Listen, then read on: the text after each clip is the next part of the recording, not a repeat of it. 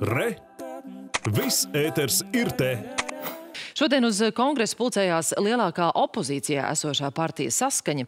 Tajā tika lemts gan par gatavošanos rudenī gaidāmajām saimas vēlēšanām, gan arī no partijas līderu runām izskanēja nosodījums Krievijas sāktējai karadarbībai Ukrainā. Vairāk stāsta Madara Līcīte. Partijas saskaņa ir viena no lielākajām partijām, tā ir vairāk nekā 2000 biedru. Pēdējā socioloģiskā aptauja liecina, ka partijas reitings ir ievērojami krities.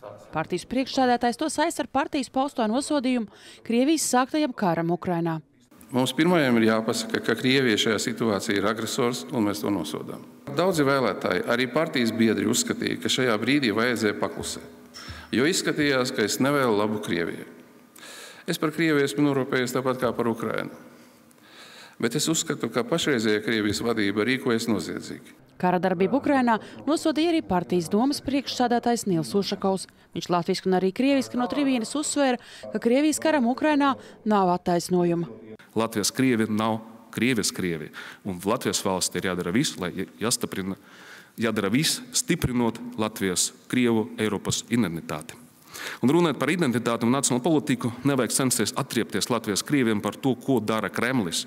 Ušakovs paziņoja, ka nekandidēs saimas vēlēšanās un nebūs premjerāmata kandidāts. Pirmie numuri sarakstos būs Andris Morozovs, Ivars Zariņš, Valērijas Agešins un Regina Ločmele. Saimnes deputāta Ločmēle savā runā minēja, ka ar katru dienu aug Latvijā pieņemto kara likumu skaits, kad normatīvie akti tiek pieņemti steigā, bāļu un politiskās konjunktūras ietekmē.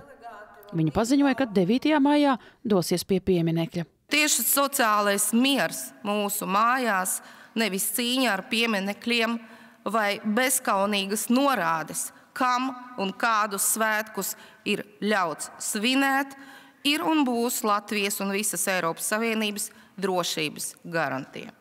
Kongresā tika apstiprināta saskaņas vēlēšana programma, kurā pausta apņemšanās panākt, lai no 2025. gada pašvaldību vēlēšanās varētu piedalīties arī nepilsoņi. Partija arī iestājas par tautas vēlētu prezidentu un pašvaldību vadītājiem. Madara Līcīta, Olavs Perševits, Latvijas televīzija.